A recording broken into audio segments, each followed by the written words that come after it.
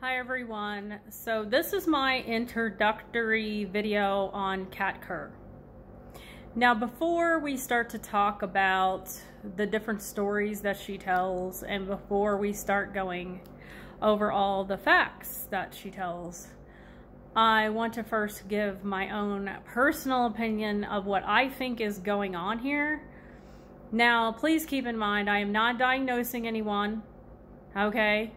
I'm just giving my opinion of what I think may be going on. So here we go. Either Kat Kerr has schizophrenia and she hallucinates and she is believing those hallucinations, which highly concerns me because if she is schizophrenic and unmedicated, she could be a danger to herself or to others. And I don't know where her family is. I don't know if her family agrees with everything she says or if they actually do disagree with what she says. I don't know because I don't know who her family is or where they live or anything about them.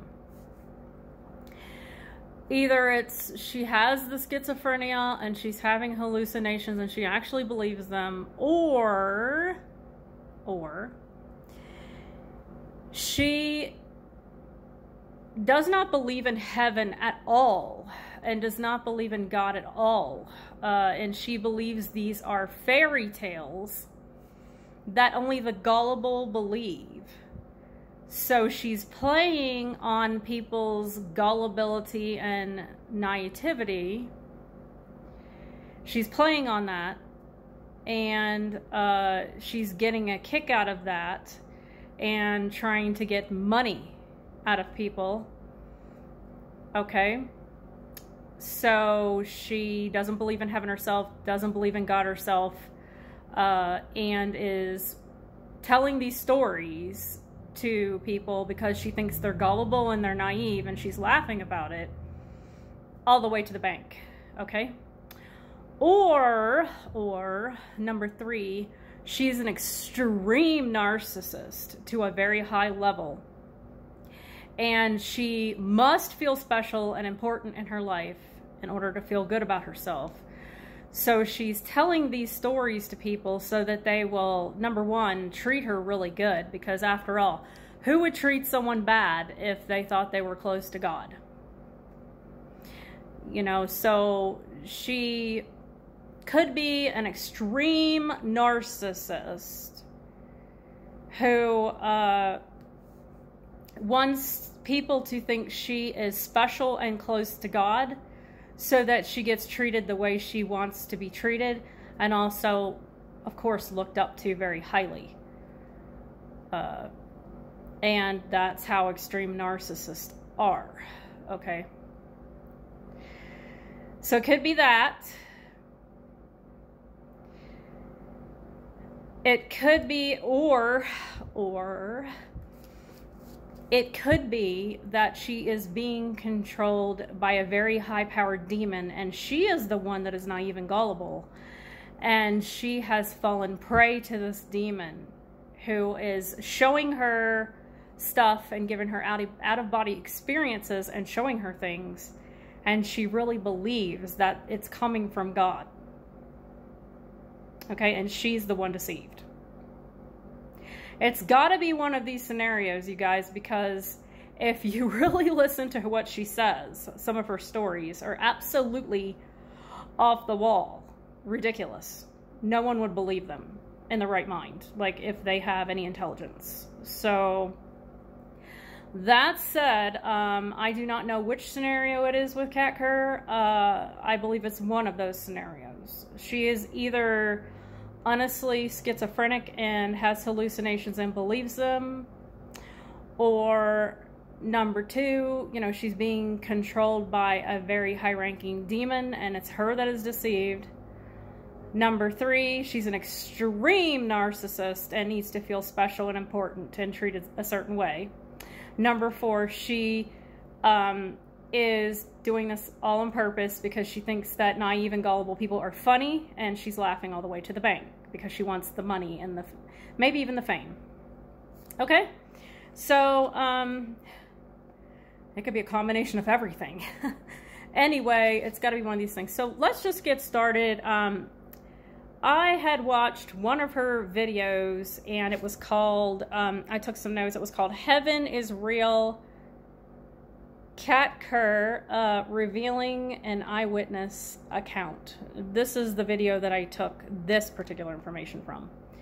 Um, I will be watching her future videos and picking them and pulling them apart as well. Um, what really stood out about this particular video and if you type in her name in Google and go to her site, you'll find this video. It's called Heaven is Real Revealing an Eyewitness Account, okay?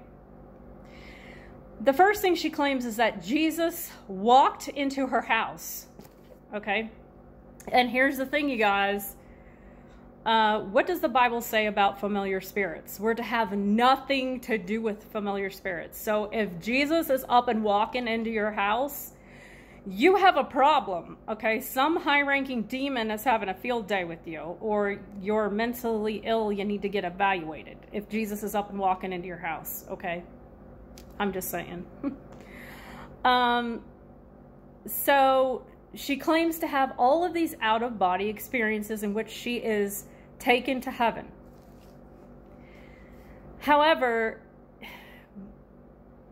the New Age, okay, the New Age movement, there are, in the New Age movement, there are many people who claim to have out of body experiences, okay? So, how are we to know that her out of body experiences are from God? We don't. That's the point. They could be from Satan himself, okay? Because there, how many people are in the New Age movement who claim to have out of body experiences all the time? Um, she says that this is a big one that she likes to say. She says that God told her to color her hair pink. Really? Come on, you guys. Why would God, okay, tell anyone to color their hair rainbow colors? Come on, you guys. Do you really believe that? I mean, maybe I just need to get on the camera and ask you guys, do you really believe this stuff? Seriously, you think God would ask somebody to do that? Think about it. I mean, most people that I know who have colored their hair rainbow colors are not even saved. Okay, they're having what's called identity issues and they're trying new trying different things with themselves because they're not happy with themselves, okay?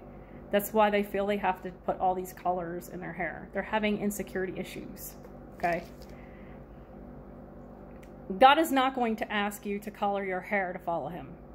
He's not going to ask that. Okay? And God loves us just the way we are. He's not going to ask us to change. Okay, and um, yeah. So I think that's most of the notes I took on this video. Another thing I wanted to bring up is this house cleaning story that she mentions on this video. She basically gets on the video and she says that she has been asked to clean a house for someone, uh, something about a funeral, something about, you know, this these older people needed their house cleaned. So her and her mother uh, agreed to go and clean these old folks' house for them. They basically were in need and uh, need of someone to come and clean their home. So her and her mother went. Well, basically, she says in this video that she's dusting the fireplace mantle, and all of a sudden, God just comes to her and takes her out of her body up to heaven, like she says he frequently does, and starts telling her information about the particular family that she's cleaning for. Basically, the granddaughter was killed, and um, this was her grandparents that they were cleaning the house for. And so Kat asked permission to get the uh, little granddaughter's mother's number, meets her at a mall, and starts telling her all this stuff about her daughter. Now, stuff that she's experiencing up in heaven, and her mother gets all emotional. She believes Kat Kerr. She's breaking down. She's crying. She's believing all this stuff that she's telling her. Here's the thing, you guys witches can do that. Okay, psychics can do that. All right how many psychic advisors in the New Age movement are able to bring up information about your family. And where do you think they get it from? They get it from straight from Satan. They get it straight from Lucifer. So just because she's able to bring up these details about this person's family does not mean that she is being used of God to tell that family anything. This stuff could be coming from the other place. I mean, how many psychics get it right? How many psychic advisors, how many psychics do people go to to get answers about their life and they get stuff right and they guess stuff that's correct about people's lives? That's because they're getting that from the devil. Okay? So uh, we are going to go in depth, more in depth, about um, some of the things that Kat Kerr says we're going to make several weeks of it. So I'm going to be watching a lot of the pink haired lady over the next several weeks. And we're going to pick apart what she says biblically and show you how she, in there's no way that she has been called of God to do this. And basically, by saying that she is so close and friendly with God that she's constantly up in heaven with Him, she's saying she's better than Moses. I mean, she's basically saying she's better than Moses because Moses is the only one that was ever that close to God. Enoch and Elijah, I mean, yeah, like, what is so special about this particular lady that God would use her in this kind of a manner?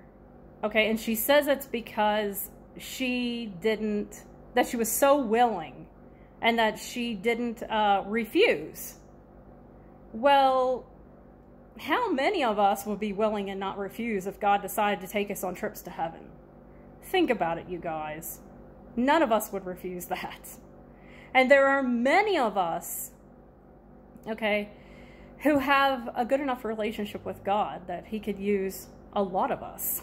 I mean, so it makes you wonder, like, why does she think she is so special? What makes her so important and special? Okay, so think about it. And uh, I will see you all guys, all you guys, on the next video. Okay, everyone have a good night.